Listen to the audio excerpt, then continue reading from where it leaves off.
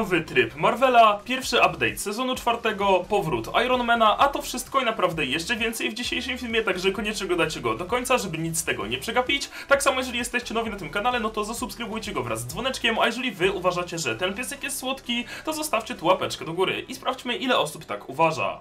Jeżeli wy będziecie kupowali coś w Fortnite'owym sklepie, to możecie to zrobić z moim kodzikiem, czyli oczywiście Hexokot. I naprawdę dziękuję każdej osobie, która ten kodzik ma wpisany, a teraz zapraszam do oglądania. Na samym początku przechodzimy do tematu nowego trybu Marvela i już od startu obecnego sezonu wiemy, że w grze ma się pojawić nowy tryb okresowy związany z Marvelem i mniej więcej będzie on polegał na właśnie superbohaterach versus złoczyńcach. No i generalnie jak się okazuje, no to cały tryb ma być dość podobny do tak zwanego Endgame LTM, który był dostępny naprawdę całkiem spory czas temu. Na samym początku mamy to, że każda drużyna będzie miała limitowaną ilość właśnie zrespień i drużyna, która już takowych zrespień nie będzie miała, po prostu odpada. Następnie, moi drodzy, będziecie mogli zmieniać sobie drużyny i przy okazji merge'ować składy w trakcie gry. Przy okazji, no to bunkry będą wyłączone. Generalnie wszystkie itemki z właśnie rozdziału pierwszego sezonu ósmego i z rozdziału drugiego sezonu czwartego mają właśnie powrócić, czyli właśnie te mityki i tak dalej z Marvela mają być dostępne w tym trybie.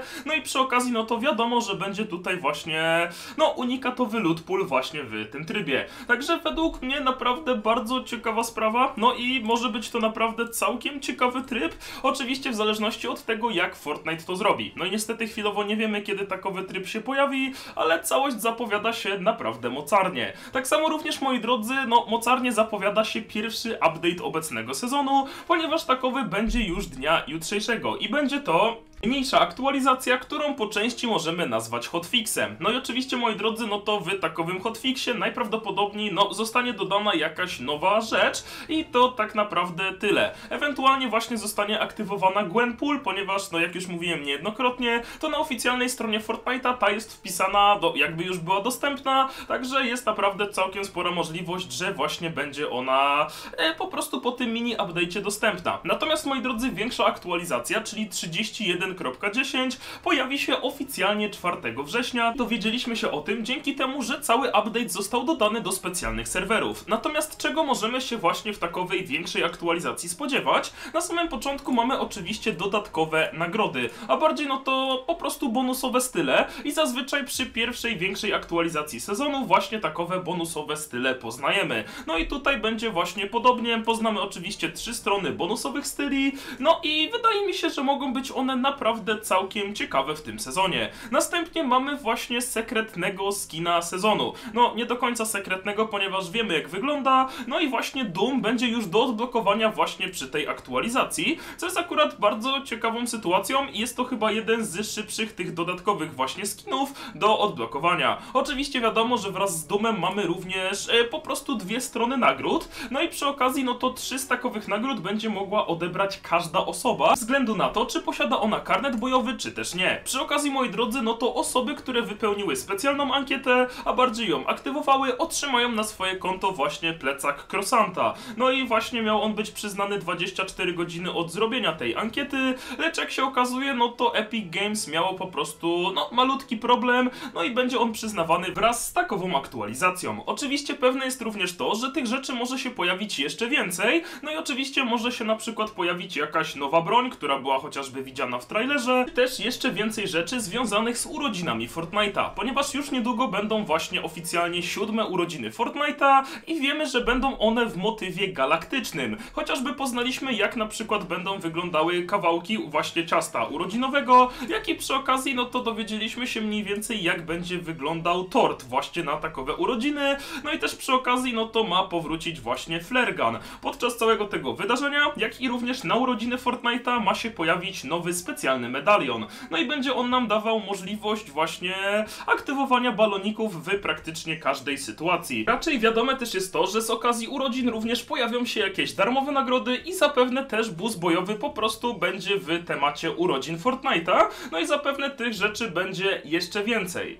Także bardzo ciekawie. Oczywiście, moi drodzy, na temat właśnie urodzin Fortnite'a powstanie jeszcze osobny materiał, a my teraz przechodzimy do właśnie powrotu Ironmana. I tak naprawdę od samego początku początku tego sezonu, no gracze najbardziej chyba czekali na chociażby powrót Ironmana, czy też jakikolwiek właśnie znak związany ze Starkiem. No i jak się okazuje, no to w trailerze obecnego sezonu możemy chociażby zauważyć właśnie repulsory.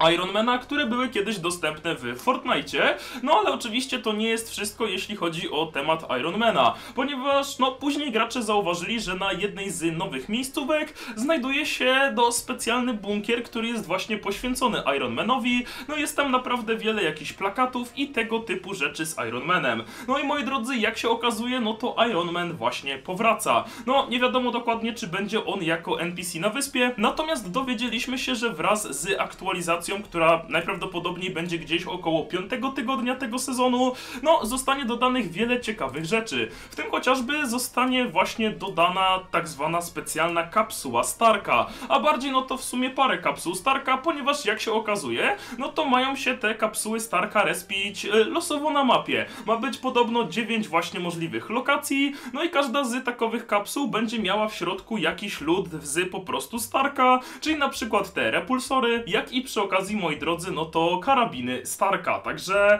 według mnie naprawdę bardzo ciekawa sytuacja. Oczywiście, moi drodzy, Wraz z obecnym sezonem jest naprawdę bardzo duża możliwość, jeżeli chodzi o dodawanie skinów z Marvela i chociażby Fortnite może wprowadzić na przykład jakąś nową wersję po prostu Ironmana, ponieważ tej oryginalnej no niestety już nie wprowadzą, ze względu na to, że no tamta wersja była ekskluzywna karnetowo, ale wiadomo, że jakaś taka bardzo podobna wersja Ironmana jak najbardziej w sklepie może się pojawić, także według mnie jest to mega dobra informacja. No jak już mówiłem, no to będzie to mniej więcej w tygodniu piątym, czyli w takim połowie właśnie obecnego sezonu i właśnie wtedy te rzeczy związane ze Starkiem i Iron Manem po prostu będą dostępne. Także według mnie informacja jak najbardziej spoko, bo wydaje mi się, że naprawdę bardzo dużo osób czeka na chociażby powrót jakichś rzeczy ze Starka i tego typu rzeczy, także jest to jak najbardziej spoko sprawa, że właśnie Fortnite coś takiego robi. No i zobaczymy, co jeszcze właśnie wprowadzą oni w temacie Ironmana, ponieważ wiadomo, że